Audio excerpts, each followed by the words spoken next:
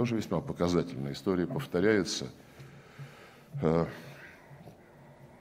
ведь сегодня эти 50 стран собраны против России. Ясно, что вот суть политики Запада по отношению к нашей стране э, всегда заключалась в том, что мы слишком сильны, слишком самостоятельны. И надо что-то с этим делать, желательно развалить. Они хотят проводить, как вы правильно сказали, пример с этой э, лягушкой, медленно нас истреблять, медленно, медленно, медленно превращать нас в рабов. Чистый планос Гитлера. Вот нас останется здесь 50 миллионов, плюс мигранты, вот на этом пространстве, и все. Остальные будут управленцами сидеть в городах, как рабы, они даже не поймут. Им будут платить хорошие деньги, они не будут понимать, что происходит. А сегодня рабы уже все.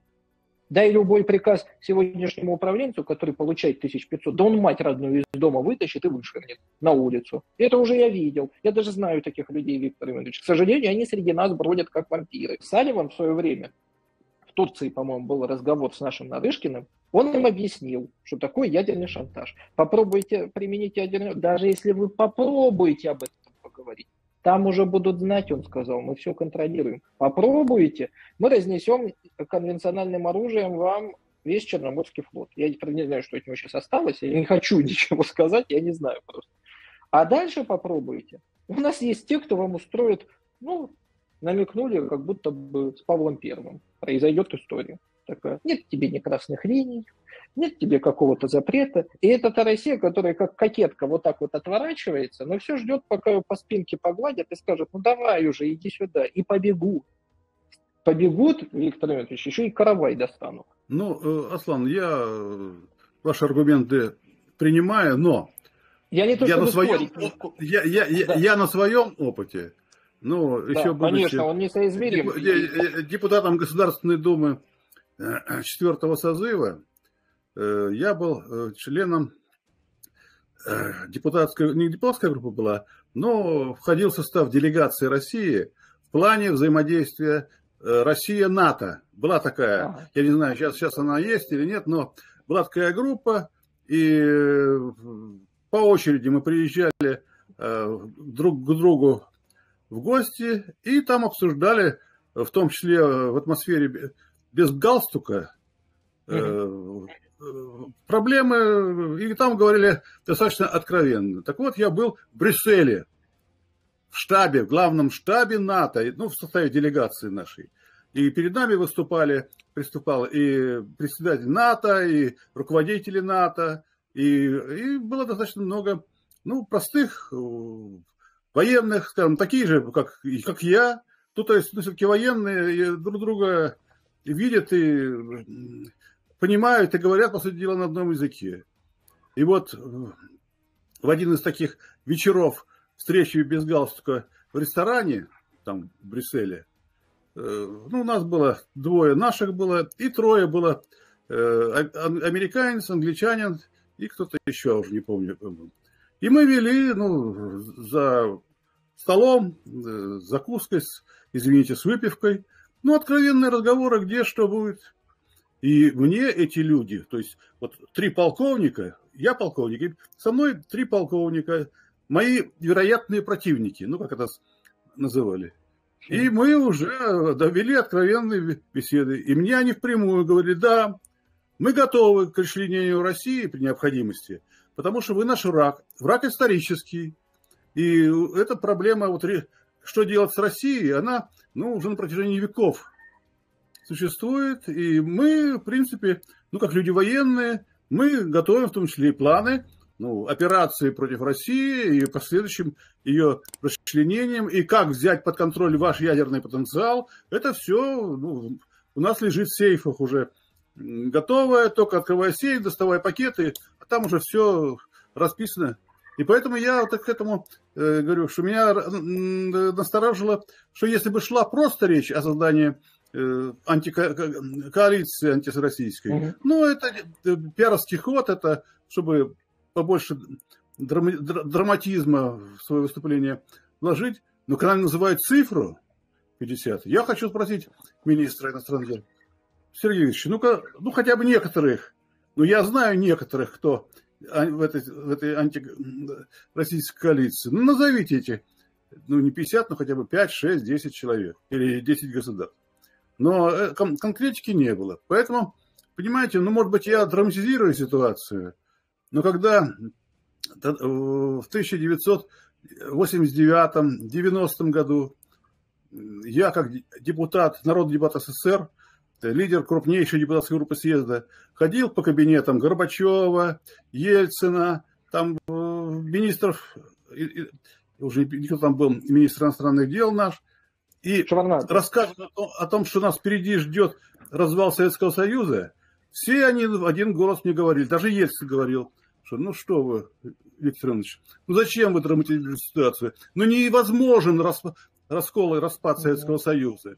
Ну это же все, это, это вот нас пугает, что вот распадется, ничего этого не будет. Поэтому зря вы вот там что-то тут ходите, распространяете эти слухи. И вот обжегшись на том негативном опыте, э, вы знаете, я очень не хотел бы стать свидетелем национальной катастрофы номер два. То есть первый распад Советского Союза я пережил, причем я пережил это не на улице, я пережил это, ну, не хвастаясь, но вот в этих высоких кабинетах. Вот в те дни я бывал и в кабинете Горбачева, и Ельцина, и в Верховном Совете РСФСР, и смотрел в глаза своим коллегам, народным депутатам СССР, которые глазки опускали и ничего сделать для спасения страны не хотели, не собирались. Поэтому э, я говорю, я отношусь к этому предупреждению Лаврова достаточно серьезно. Ну, я не думаю, что впереди нас ждет военная агрессия стран НАТО, что все это будет носить мягкий вариант, вот этот котел с кипящей водой, в которой будет находиться лягушка. Э, и мы все сделаем сами, своими руками. То есть э, будет договорняк по Украине, и я думаю, что он будет отнюдь не в нашу пользу, что будет создана, создана международная конференция по Украине с участием там 100, 150 стран. Да, и Россия там будет, но она будет в одиночестве, потому что никто ее, ну, кроме э, Корейской Народно-Демократической Республики, э, не будет поддерживать и будут на нашу делегацию давить. Вот же, 150 государств выступает против агрессора э, России, давайте подписывайте вот эти документы. А документы будут весьма-весьма не, ну, не, не очень нехорошие для России. И я не верю, что наша делегация, но я не думаю, что Путин полетит на, на, эти, на эту конференцию. А она вот, как по словам Зеленского, она должна быть в этой, этой осенью. Но тот человек, который будет возглавлять ее, скорее всего, Лавров, что mm-hmm. он может, находясь в одиночестве, когда ну, 150 государств выступит против него, ну, может быть, там несколько, несколько государств воздержатся от осуждения резкого, но они получат команду, что вы там в кулуарах скажите главе российской делегации, что, ну, что дела у них плохие, что им воевать нечем, что поэтому им лучше идти на компромиссы. А компромиссы могут быть самые-самые неожиданные. Ведь если рассмотреть вопрос Стамбульских соглашений, э, про которые сейчас вновь заговорил Владимир Владимирович, а если взять текст его на опубликованный Нью-Йорк Таймс, и этот текст, кстати, все и с нашей стороны эксперты, и с той стороны подтвердили, что он ну, соответствует действительности. Ведь там же получается, что Зеленский э, ни на какие территориальные уступки в принципе не готов. А я уже сейчас, наблюдая тем, что происходит в Курской области, предполагаю, ведь неспроста Зеленский заявил, что вот это, что в Курской области ему территория не нужна, но это хороший козырь против России в ходе переговоров. И да, я так, я так прикидываю, что это будет выглядеть так, что Украина, одетая в тогу миротворца и э, государства, которое хочет мира, выступает и говорит, нам не нужен Курск и Курская область. Мы будем, мы выведем свои войска из Курской области, но в ответ Россия должна вывести войска из Донбасса, из Херсона и Запорожья. И что нашей делегации сказать? Нет, нам не нужен курс, пускай он будет в вашей оккупации, а мы будем вот бороться, сражаться и так далее. А тут же скажут, ну а с Крымом, ладно, мы не будем сейчас требовать его возвращения, а пока отложим вопрос на 10-15 лет.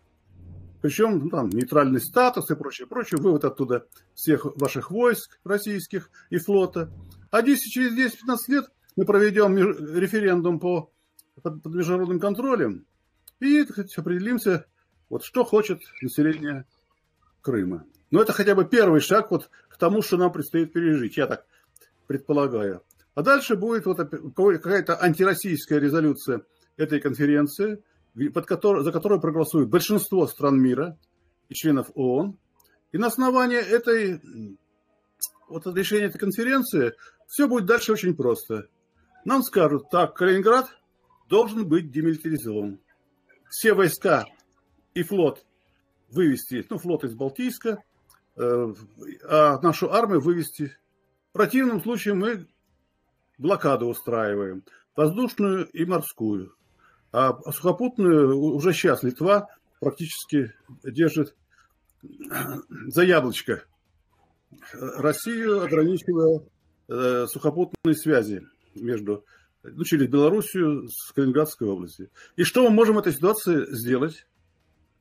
Ничего, но только что сказать, показать Кузькину мать и постучать каблуком, как Никита Сергеевич, хотя он это и делал, по трибуне. И вот таких вот калининградских областей и неудобных очень для нас вещей, ну, я напомню, что в 1939 году Сталин пошел на военный конфликт с Финляндией, потому что граница государственная проходила ну, в 30 километрах от Ленинграда, и второй центр СССР находился под прицелом финской артиллерии. И Сталин предложил, мы отдадим вам намного больше территории в Карелии, там на севере и так далее, только отодвиньте от, от Ленинграда эту границу. А сейчас Финляндия, член НАТО, обращается к США за помощью в обеспечении безопасности, и там на границе разворачиваются, ну, те же самые хотя бы Хаймарсы. Да, да, или крылатые ракеты, и мы ничего не можем уже предъявить ультиматум, что немедленно убирайте это, иначе мы сделаем что-то то-то, то-то, то-то. Ну, скажем, как сделал Хрущев, возя ракеты на Кубу. У нас эти, эти, этого мы уже сделать не можем. Уже все подписано и договоренности по этому поводу. И поэтому я, э, ну, пессимист в этом. И настроение у меня плохое, наблюдая за тем, что происходит. Потому что я вижу, что во-первых, отсутствует политическая воля у нашего руководства. Оно не способно стукнуть кулаком по столу и сказать, но это ведь не просто от того, что оно бессильное, а реально это наши, наш потенциал, к сожалению, Горького, он не, не обеспечивает то, что нужно в этой ситуации. И поэтому нас будут давить. И я очень опасаюсь, что Э, это давление, в конце концов, учитывая, что некому защищать, отстаивать интересы России и за его спиной не стоят мощные вооруженные силы, не только ядерное оружие, но это ведь тоже для этого нужна политическая воля и решимость, а это не так просто, то, в общем, у меня ну, пессимистические настроения вот в этой області. Попри все, ми, шановні глядачі, вистояли і обов'язково переможемо. Бо разом ми сила. Підпишіться на канал, ставте вподобайку, пишіть свій коментар та поширюйте цю інформацію.